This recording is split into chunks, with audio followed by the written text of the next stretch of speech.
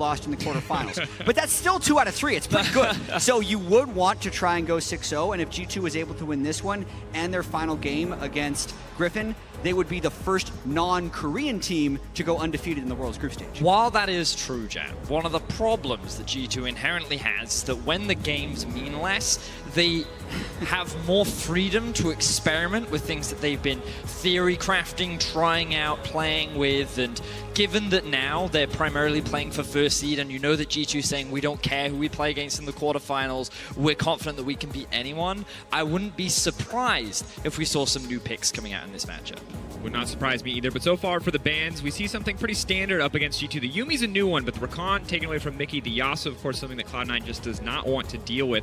I like that G2 Esports banned the Qiyana. They got it last Yeah. time. It went horribly, and I think it makes a lot of sense for them to take it off the board this time around. And some respect to Sneaky by taking the Heimer away as well. Yeah, and I also think there's been a lot of conversation with C9 about whether or not they should be starting Svenskeren or Blaber, or whether or not Sneaky should be on an AD carry or a mage. But I think another important discussion for Cloud9 is what will Nisqy play? Because throughout the summer split, he showed the majority of his success on melee champions like Irelia, Sylas, Akali, or Qiyana. So the Qiyana ban is good. We know how nerf Sylas is. If I'm looking for a C9 victory, I would want to see them try and pick around him on an Irelia or an Akali. But for now, it is the Kayle. Could technically go into the hands of Licorice. We've also seen it in the bot lane in a single game in the hands of Teddy. So obviously can be used as a flex pick, but may already be set to go into the mid lane, especially if this Renekton does get locked in. But G2 do not hesitate to lock in the Ryze as well as the Kai'Sa in their first rotation. Yeah, and Vedius, this is looking pretty G2 tryhard, right? I think Yeah. I think the 6-0 is very meaningful. I don't think Worlds is necessarily the time to do the happy games. We'll have to see with the rest of the draft going through here. But if this Renekton is locked in, I think that would be actually a good pick for C9. What does surprise me from G2's side is the fact that they chose to prioritize the Kai'Sa over something like the Xayah because Yeah. multiple times during the regular season season we would see them pair up a variety of different supports with the Xayah Yeah. even if the Rakan was not available so showcasing a slightly different priority this could suggest right now that they're thinking along the lines of the Nautilus who is up and available if they don't feel comfortable they could also do the Morgana which is a pretty strong pick into the Thresh as well And now with the Rek'Sai locked in, interesting to me that Cloud9 did not opt to pick up something like the Xayah. You talk about kind of that identity crisis of them not knowing if they want to play mages or AD carries. And given that that has been, outside of Kai'Sa,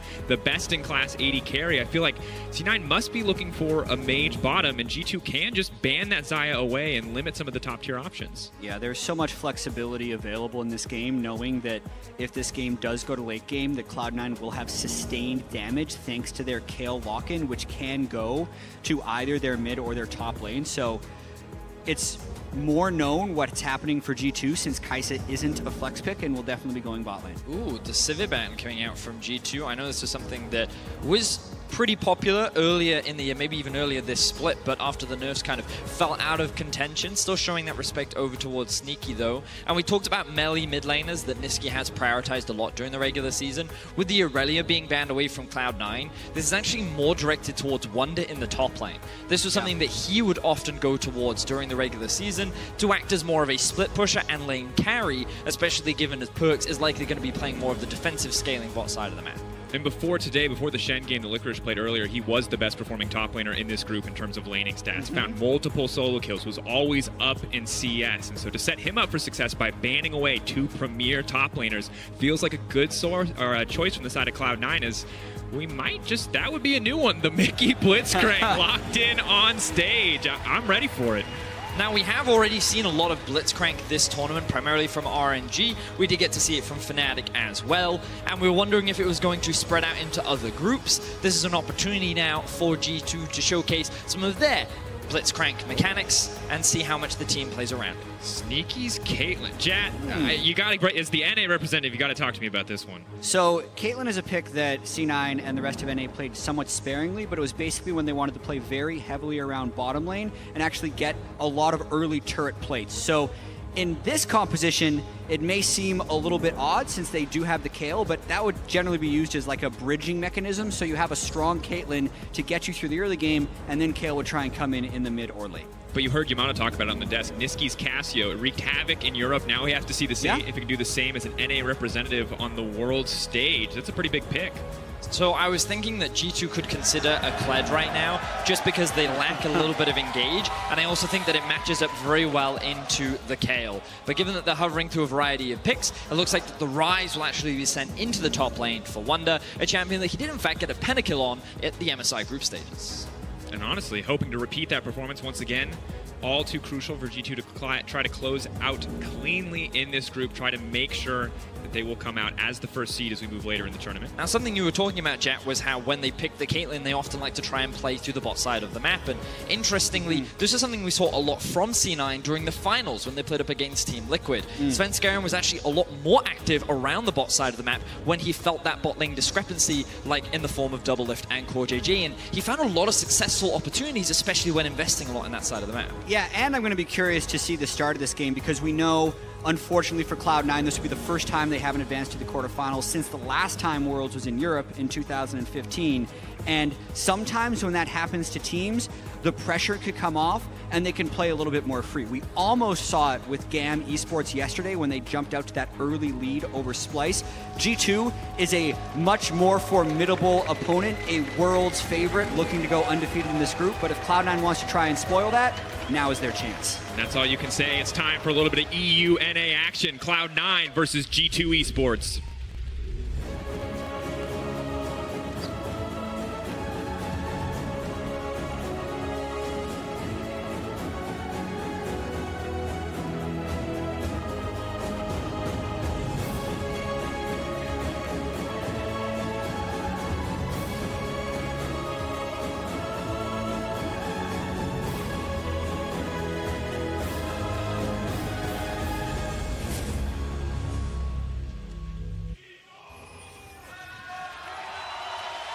We go. Berlin and Verdi alive and ready. Cloud9 versus G2. As you mentioned earlier, Jack, Cloud9 sadly already knocked out, but G2 playing for a perfect group, playing to lock in first seed. However, the level one going to be crucial here. Cloud9 clearly set up for a G2 play. It's the classic solo queue, level one start. Group up in a brush, wait for the Blitzcrank to appear. G2 not going to overcommit into the enemy jungle. Or are Yet. they? Really trying to hype up the drama. How much mana will Mickey burn before he gets to lane, throwing hooks into random bushes? Will C9 be spotted in there? the answer is no. Looks like nothing's going to be happening at the level one mark. Uh, what's really interesting to me is I have very little experience with a Kai'Sa and a Blitzcrank lane. Because typically, when you pair something up with a Blitzcrank, you kind of want it to have an element of lane dominance. Things like Draven, things like Caitlyn pair up with it very well as well, and mm. even Xayah to a lesser degree. But I feel like Kai'Sa is not a champion that if you land a hook, you necessarily are going to find that kill or pick on. Yeah, I mean that's the whole just dilemma of picking Blitzcrank and Pro.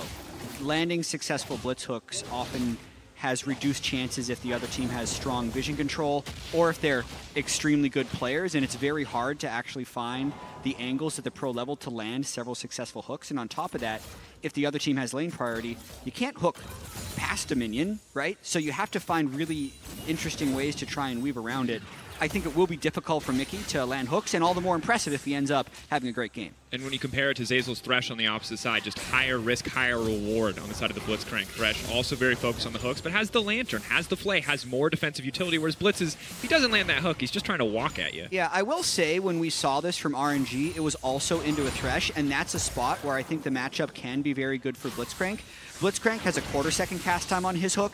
The Thresh hook is a half second cast time, so as soon as Zeyzal starts winding up, Mickey can just hook Zeyzal, right? If Zeyzal's, if he can see the Blitz, then Blitz can see him, and Blitz will actually get the hook on him. So that's another reason you might see the Blitz that early. It's like a real life cowboy draw. You know, who gets the draw first, who's able to find that first shot will be very important in that matchup. Speaking of matchups, we've got to keep track of the junglers. Both of them have path up towards the top side. Jankos and Svenskeren both level 3. Kick gonna come in. Jankos. Now trying to find the knockup. He's there, Wunder. Going to be able to follow up here. Prune Prison does manage to connect. Fenskar now has to run. He just leaps forward. That's the ferocious bite. First blood, and now Licorice is in trouble. Nisqy now coming up. The heel is there. They're trying to chase this one down. They've set their eyes on Jankos, but that means Licorice is going to go down. This is a disaster. C9 getting cut down on the top side of the map. So I'm also going to be really interested to see Cloud9 against HKA. That's just such a bad start for C9. Literally three deaths in a 2v3 in the top river, three and a half minutes against G2. Total disaster. And the thing is for Cloud9 is they want to try and play around their bot side of the map. This is where they have the Caitlyn and the Thresh. And you can understand Svenskeren wants to try and cover for the Kayle. He can see that Jankos may look for an early gank up towards the top side, but they just overcommit. Kayle at level 2 does nothing. And given the fact that Licorice is separated away from Svenskeren while Jankos is just beating down Hey. onto him, He does speed Nisqy into his death. Don't don't discredit the Kayle at level two, Vedius.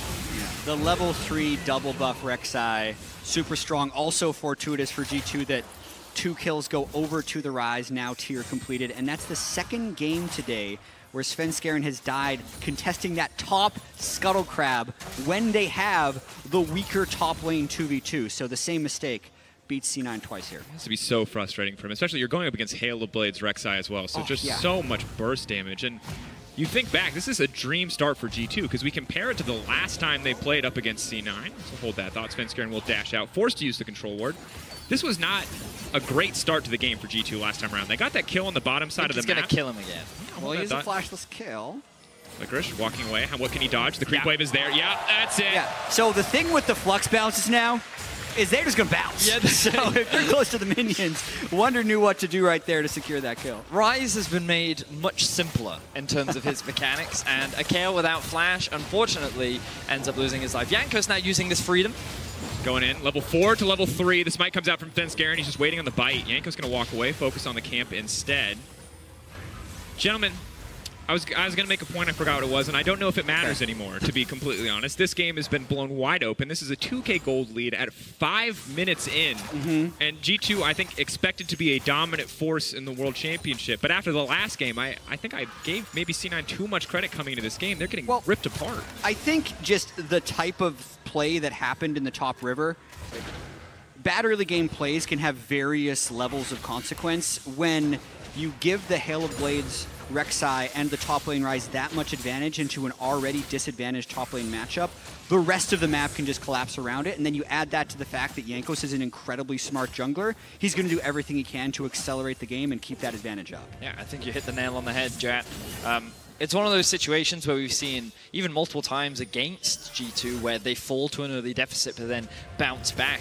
When you give this team an early lead, they are one of the best, if not the best, in Europe at ballooning those gold leads, especially between the 10 and 15 minute mark. And with C9 already at this disadvantage, they're going to have to make some pretty miraculous plays in order to reclaim some of this gold deficit. Then Scaring waiting in the brush. Perfect ward Perkz. Is going to spot that one out. Now Licorice has to run for the hills. The speed buff starts to fall away. And Jankos just gets to walk forward. Licorice so weak at this stage of the game.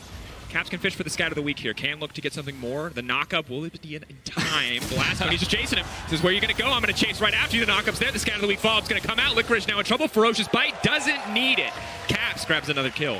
Yeah, just a disaster game for Licorice. And we also got to keep in mind that top lane play lot, put both solo lanes at a large disadvantage. So I definitely don't think Licorice should have been there to get that ward, knowing Caps is going to have mid lane priority. If anyone goes to check him, he's going to die. So uh, this game was already worse. Now it's just worser for C9. Worser, I like that. The good news is Sneaky is doing fine on the bottom side. He's playing against a first-time Blitzcrank. He's this is the most you can ask for. 59 to 47. And I feel like that's the lane that Cloud9 need to get something done. You said it in draft, and now it's I love amplified by the early I game. respect. Licorice might die again. Said bot lane, buddy. He's gonna get hit up. He's gonna get taken out. He's well, he's dead again, folks. That's it. Six to zero. G2 dominating. Well, maybe this is the moment, though. Mickey, first time Blitzcrank, might go his first death on the champion as well. Svenskeren going to walk forward and take him out. No chance to outplay that one. Sneaky going to get it with the last auto. So you may kill Cloud9 six times before 10 minutes, but you will not perfect game this team. They've successfully found a kill down towards the bot side of the map, and at least it's something back, but with a 3k goal deficit already at 8 minutes, they're going to have to keep finding these picks to claw their way back into the game. Yeah, definitely a very disappointing open for C9, but they'll want to try and play around bot side as much as possible. Svenskeren, level 5, has the 3v2 because they had just seen Rek'Sai top lane, so this was the correct play for C9 to make at the time, and then they're also able to secure the kill onto their carry. Yeah, the wave was actually in a fantastic spot for C9 there as well. They could have zoned Perkz away from a lot of farm, and you can see the discrepancy starting to be built between the two bot laners. That looks fancy. Does not able to land the Hex Flash hook there from Mickey. Svenskeren walking down. He has been spotted on the ward, but the hook does manage to connect Zeyzal. Gonna step forward. They're not gonna flash out to safety. Svenskeren not gonna fish for the kill here. Nisqy already roaming down. Cloud9 have clearly figured out. They're focusing bottom lane, but haven't got much else yet. Three tower plates in favor of Sneaky. So this is what we wanted to see from Cloud9 earlier into the game, Well, Sneaky and Zeyzal, when you do invest resources into them, can be that powerhouse, but now the gold on G2 has made its way bot lane. Jankos flash out, not gonna find the knockup. Caps here. It's all about the hook from Mickey. Is not gonna connect. C9 are gonna be able to make it out of that one. Yeah, and this is the tricky decision point for C9 since their top lane is so ridiculously far behind. On one hand, you don't want to leave Licorice to just get killed over and over, but on the other hand, you need to try and find an advantage somewhere. So I think that's what Svenskeren has kind of opted to do. Ugh. Play around bot as much as he possibly can and just really just say good luck in League of Legends, Licorice, because that's what he's going to have to deal with this game. That is a completed Seraphs versus a dagger. That's not fun. well, it's it's still, It's the, it's still the Archangel stat. the Archangel stat. My apologies. You're right. Yeah, my apologies. My apologies. Yes, The yes, silver yes, lining. correct. There you go. Chad. Always the positive side. Glass is half full, eh, Jet? All right, so that's something. And once again, it's brutal. I think at this point we're waiting to see. G2 are kind of the ones that need to up the pace of the game, continue to extend their lead, and it's just a matter of seeing what Cloud9 can do to match them. Uh, Boots 2 coming in very early for Licorice on the top side. Caps not wanting to walk to the Petrifying Gaze, not going to go all in on that combo against Nisqy.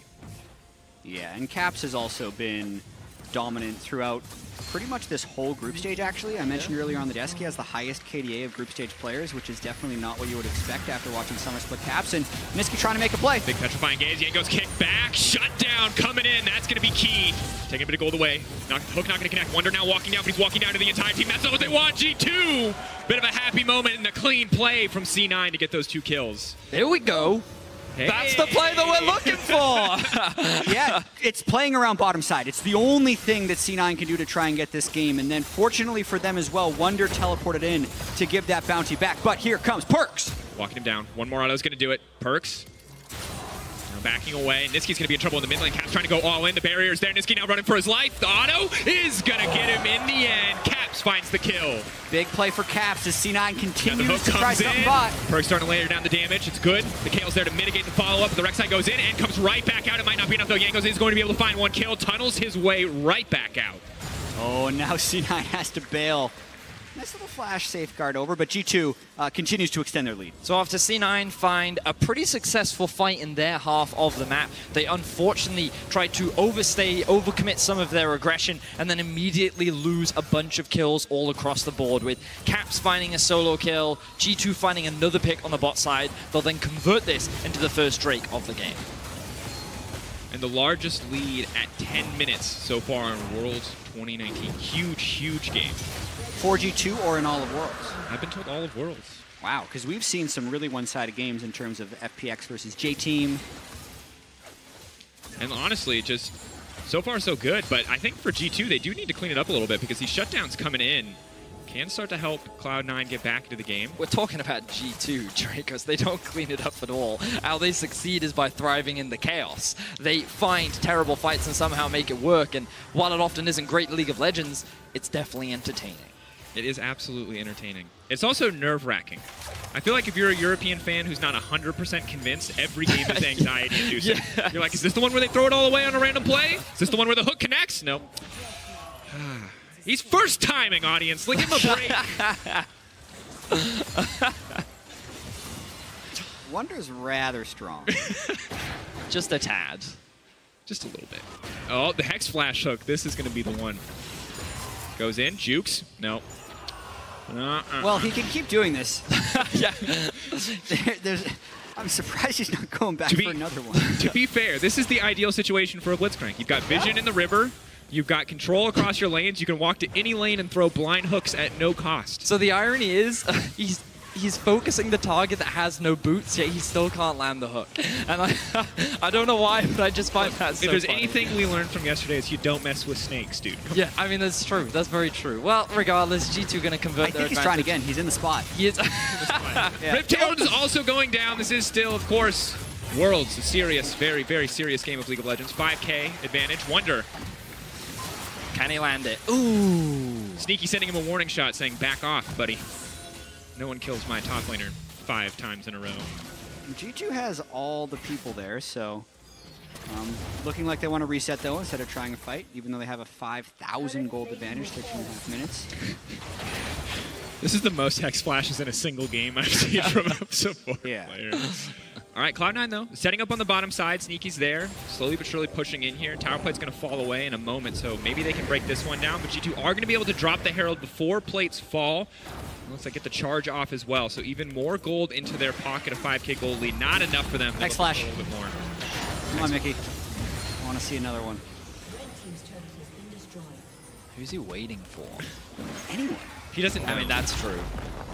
So far, his uh, hit rate with the hooks incredibly low. He hit that one and when he got ganked and died. He hit that one at melee range against Svenskeren. That's the one I've seen so far. Here we go. So, Infernal Drake is going to be spawning in about two minutes.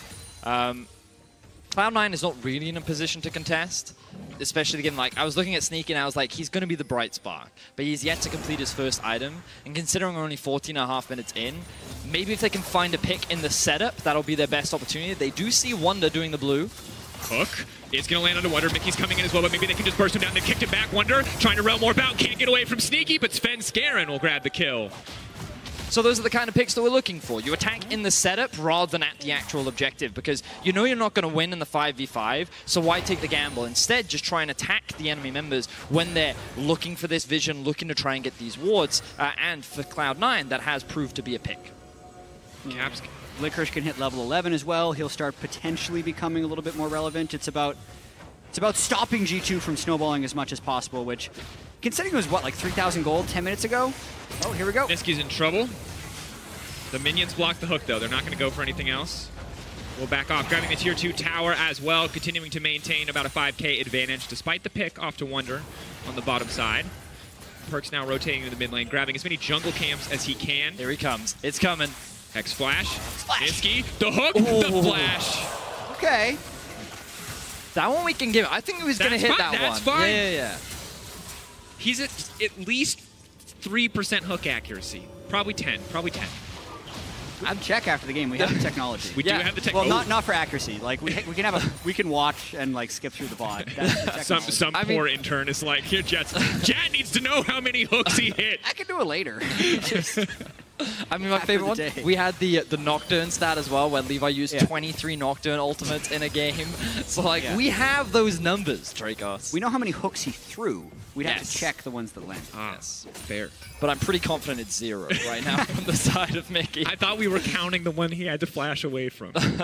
It's too much No. you bias. Can't give it to him. All right, well, G2 are setting up on the play, but it feels like Cloud9 are Wait! here. Hook! That's what you were talking about, the cast time. It doesn't add up. The KO has kept him alive, though. Mickey now has to run for the hill. Sven now going in the kickback into the midst of the team. A clean kick flash. Wunder now tries to escape the Sonic Wave. Sven on a rampage coming in.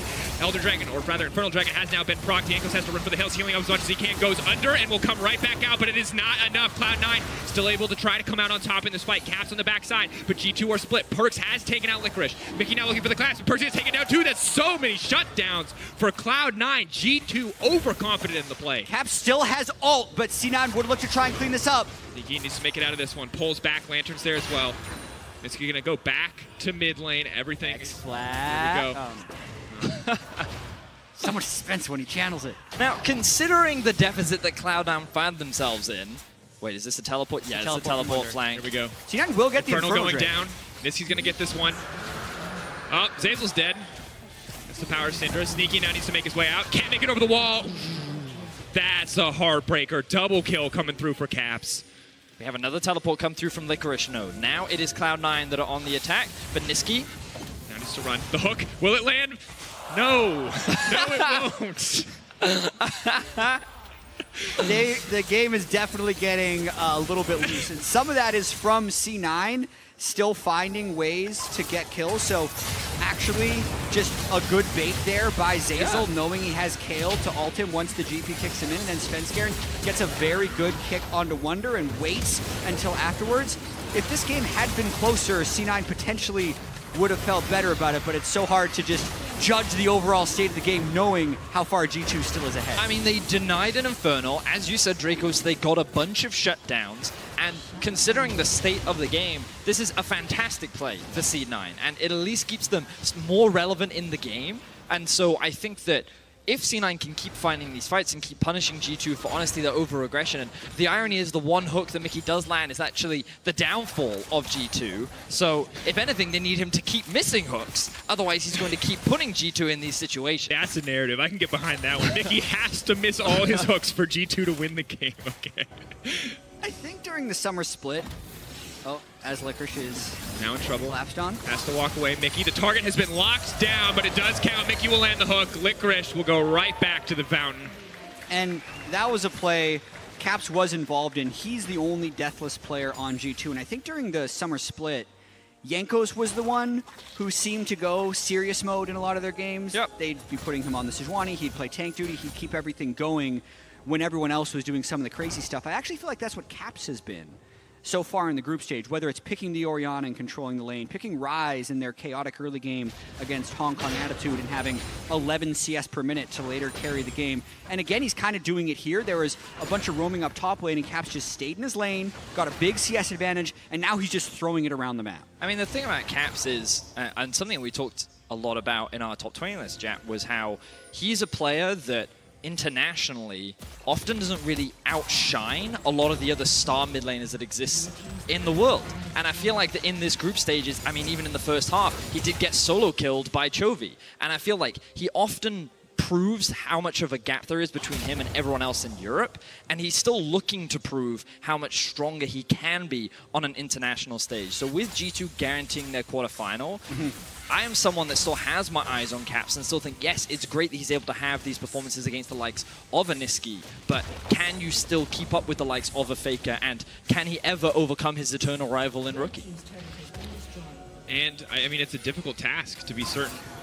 For now, G2 focused on this game. The hook will connect. The rest of C9 is now collapsing, but Perkz is just free hitting on his support there. Zeyzal, Mickey X now going to be in trouble. Will get taken down. The Ryze is now moving in. The Lantern is there. Nisqy wants to take it, but he's not even concerned. He's focusing instead. Another hook lands. That's clean from Zeyzal. And Nisqy's there with the damage to back him up. Now the Baron is alive and all five members of C9 are up and ready to start it. The Kayle doesn't have TP, so Licorice really needs to start moving for Cloud9 to potentially come back into this game. Yeah, the DPS from Nisqy is pretty good on the Cassiopeia. They just have to worry about Svenskeren taking damage. Caps and Perkz would want to fight this if C9 tries to stay on it. Zeyzal getting lower and lower. Svenskeren, no energy. Focus too much on the Baron. Does not have a lot left. It will reset. But Cloud9 still at a 5k deficit, but still fighting back at every single step. Yeah, I mean, they've pushed the game to a late enough point where one more big team fight from C9 could turn into a Baron and then actually an even game. So this would be the time where G2 needs to actually clean up their play, not have Mickey and Wunder getting caught up. This is actually the second play where Mickey has been going for something, gets picked himself, and then Wunder ends up showing up after the play has gone wrong. And he just gets CC locked by Nisqy's Cassio. Yeah, and Cloud9 are actually working much better as a unit than G2 are. And whenever G2 look for these picks, it's actually they who are getting punished. So if K- C9, we already talked about if they continue to do this, this is the second time they've now punished G2 successfully. So there's no reason not to believe that they can't keep doing it. And it's now up to G2 to, as Jack was saying, clean up their play, get a little bit more control over their side lanes, because I feel that one of the big things that's hurting them right now is actually managing and setting up their vision. And if they can do that and set up for Baron, then G2 should be in a better position. And fishing for a play. And you can't blame them. When you're behind like this, you have to go for some of these death brush plays. You're looking to catch out single members. And as much as we've been joking about Mickey's blitzcrank, hasn't had too much of an impact yet, whereas Zeyzal on the opposite side has hit so many clutch hooks, had so many good fights, but still, G2 with the gold lead here, get the lane priority, they set up for this Drake, and C9 just are not in a position to contest. Let's not forget that Wunder was 4-0 at the beginning of this game. Now he's 4 and 4. The entire Baron River is in control of Cloud9. And even though there is a 5k goal difference between these two teams, this gold gap doesn't feel as strong as it did earlier into the game, as C9 were baiting a bit of a Baron out. I did very much like how they put Zeyzal into the pit to clear out the control ward and put two people hiding behind the walls, believing that he was the tastiest of baits to potentially force G2 into trying to fight another It's bad a game play. of psychology now, Daniel Drakos. But it's tough when Caps is able to freely walk down mid lane and press into your inhibitor tower. It's always going to be so hard to hold on to any kind of Baron vision for an extended period of time, and Wunder just waiting in the darkness, looking for a single pick that could open up G2 to take the Baron themselves. And the wave control by G2 has improved kind of since that last ugly team fight we saw. So Wunder, as you mentioned, waiting down bottom in the fog of war after pushing in bottom lane. Caps taking the mid turret after pushing in mid lane. So C9 isn't really as hidden as you would think. Tries to make his way out of this one. The K ulti comes in. Good timing. Major cooldown used. Cap's going to get a bit of poke back in exchange. Svenskeren has flash. Uh, awkward Sonic wave, but good on Wunder to sidestep there. Both, play, both teams honestly just feel like they're setting up for a bigger play here. Mikyx continues to fish with the hooks. Always have to respect the potential for this Blitzcrank. Has been a non-factor thus far, but as G2 set up more and more vision control, it will be easier for him to land this on an unsuspecting opponent. This next hook might lead to a Baron Drakos. The hook after this one. that was a bold G2 call. are It's actually the hook is leading to a Baron. Yep. Setup is there. Blue buff has been taken away by Caps, but C9 are just going to walk into this one. Miasma is down. Major cooldown. Jankos slowly but surely getting chunked away at Cloud9. Do not feel comfortable to walk in and contest this. That's the Baron for G2. The hook lands. They get the follow-up fight as well. They just got the Baron, and they take out Nisqy on top. So G2, after all of the crazy shenanigans that have been this game, will secure the Baron. It's definitely been chaotic, but another fight is ensuing. Vicky getting picked off might buy a bit more time. G2, do they want to go for a bit more? They've used a lot of major cooldowns in the trade, but good pick for C9. Zeyzal, though, has to be careful. Perkz's going to ult forward. Svenskeren leaping in and out. Good play. Uses the resonating strike plus the safeguard to bait out the Zhonya's from Caps. And throughout all of the shenanigans in the 25 minutes of this game, the gold lead has continued to grow for G2, and I think a lot of that is just looking at the CS of Caps. He's still at 10 CS per minute. You can see his bounty just continues to grow. Even though Wunder has died four times, he's still sitting at the same gold value as Caps. So they're keeping their gold up even if they're dying Kicked out in there. situations like Good play by potentially Now has to back off, but will go right back in as soon as the team is there. The play comes out. Wunder now has to run for the hills. Kayle out there as well, and Svenskeren popping off this game. So he did have the Seraphs up, chose not to use it, uh, either forgetting or believing that it wasn't valuable. Hook now lands on the Caps. caps. He's got no stopwatch. Gonna be big. Licorice now stepping forward, Doesn't but matter. just one shot. Zeyzal. Perkz now on the way in. Already marked. Licorice is gonna get run down here by Perkz. He knows there's no ultimate. Oh. Svenskeren is just next on the list. Nisqy on the backside. Maybe they can hope to kill Mikyx, but they're not gonna be able to get anything else. The hook it misses again. The ulti comes out for Mikyx, but Nisqy still has to run. He's gonna take him down. Sneaky, a nice shot to finish that one off. Rexile comes in, the trap now on the ground, Sneaky now needs to get away. He Gets it, that's the double headshot, point blank from Sneaky. Cloud9 are continuing to find these picks. This fight has been three for three so far, flashing from Nisqy. Clean turn away from Caps. Almost got caught in the animation, would have gotten stunned up. Nisqy could have looked to finish, but the TV's now coming in. Nisqy either needs to win the play or get out. He's not going to get the opportunity. The Seraphs comes out, Caps burning down. Will it be enough? Walks back into the miasma. Will not drop. Such a close exchange. This game stays explosive. 31 kills now. This is a this is a in. messy game. This It is really is. So when you see G2 get such a, an overwhelming early game lead, expectations are that it's just a clean stomp. It has not been that at all. Um, C9 have done a great job of finding picks, but mistakes like this from Wunder, look at how overextended he is, and there are, Yeah. everyone else on the rest of G2 is back in base. They're resetting. Like, Yeah, you would like to see from G2 them to be playing this more cleanly because I think you want to get stage practice of playing clean resets. Yeah. Especially if as if they win this game, they go into a potentially first seed clinching game against Griffin at the end of the day. And then the good thing for G2 is wherever Caps goes, things go well. And every time he seems to show up in fights, it works out. Blitzcrank, on the other hand, has I mean, had the opposite effect. what I've learned is that I don't need to ban Blitzcrank if I ever meet Mikyx in solo queue. I think, I think that he actually landed that hook. but we didn't see it, so it's not a Um, problem. If a hook lands in a replay, did it really land? yeah, that's these are the questions, chat. This is the thing that ProView ruins, is fun questions like that. 'Cause Someone could check. Someone Yeah. could go back. But G2, Sneaky's down. They're breaking in the top side. It could be a last desperate hold from Cloud9. They definitely have the tools. The Petrifying Gaze up and available. The hook will miss once again. Now they just need to hold on to these inhibitors for as long as possible, but so difficult when Caps can just threaten. Zeyzal continues to look for these hooks, look for these opportunities. Licorice now stepping forward to clear the way, but that's the mid lane tower broken, and that's the hook onto Nisqy. That's huge. G2 now it's going to be able to walk in and grab at least two inhibitors.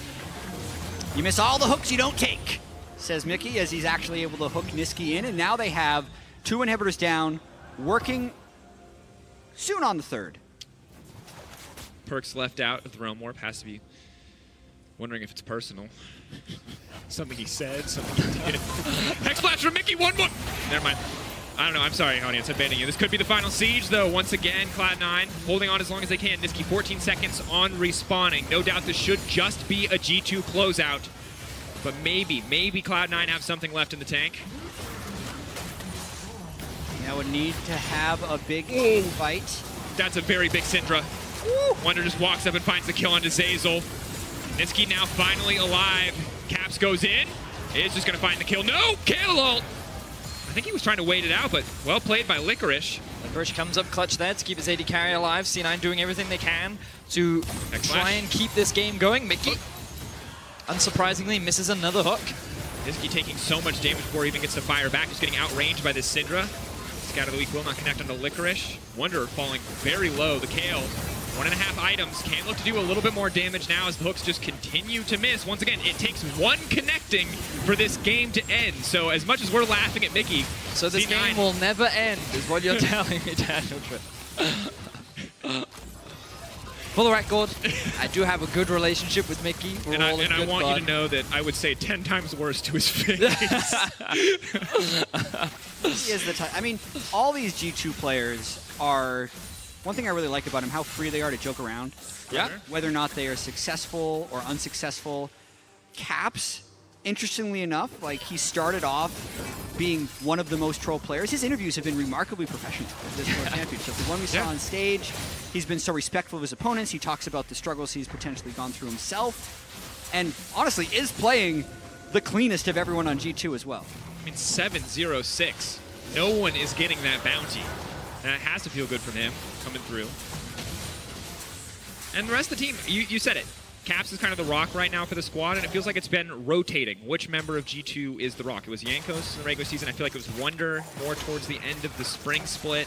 In summer, it was Wunder and actually Caps who were struggling, whereas it felt like Perkz and to a certain degree Jankos had to pick up the weight. So I mean, the, the fascinating thing about uh, this team is that when we think to last year's Worlds, when it was, of course, a different bot lane with Hjarnan and Wadid and uh, the G2 that wasn't really expected to do anything, it was Perkz and Wunder that really came into their own and showcased what they're capable of on an international stage when they play at their peak. And Caps didn't have the best tournament last year. Don't have time for this. Is Mikyx looking for another Got some hook? time. Yeah, we got. You're right. My bad. um, but the important thing is, is what a lot of G2, when all five members play at their peak, that is when we really get to see the full power. But very rarely do we ever actually get to see it. We're Oh, definitely God, and he lands it. Sneaky. The Kayle says no. Going to take two hooks. Svenskeren now going in the redemption. I think it's going to be too little too late. G2 now looking in, trying to clean up. Perkz flashes in, trying to look for some fancy outplays. Zeyzal might just get cut down now. Licorice is next on the list, but Perkz needs to get out of there. He's stealthed up, but no. Nisqy will grab the kill in the end. Wunder Rumore picking to the backside, and that's going to do it. G2 from start to finish, absolute dominance. Cloud9 were able to fight back, but G2 held onto the lead. They'll close out the game, and then look for that match versus Griffin at the end of the day. C9 unable to play spoiler as G2 rolls on. They move to 5 and 0 and are now one game away from having the first 6-0 in group stage ever for a European team. Could be a huge accomplishment for this squad. And a lot of good moments, I feel like, for Cloud9 in that game. And it's just, it's unfortunate that the early game was so rough because the mid game was, act- they were going blow for blow. They just Yep. fell Yeah. so far behind early on. Just beyond disaster with that level 2 or 3 in the river. A 2v3, three kills going over as the 3. Summoner's burned while Caps is able to free farm in the mid lane, and you can't give that type of advantage to G2 or Caps. So even though Cloud9 was able to scrape 15 kills back in the rest of the game, it was never really in question. And the good news is, if you're going up against G2 in a best of five, you'll probably never have to ban Blitzcrank. I mean, that's true. But also, if you're uh,